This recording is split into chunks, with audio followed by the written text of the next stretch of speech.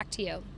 Well, Hannah, thank you for that update. Also breaking this afternoon, though, a homicide investigation underway at a South Charlotte apartment complex. Authorities tell us one person was killed in a shooting on Fisher's Farm Lane. That's in the Retreat Apartments just off of Pineville Matthews Road. It's not clear right now what prompted that shooting or police have any suspects, but keep it right here. We have a crew on the way to that scene. We're going to bring you some more information as soon as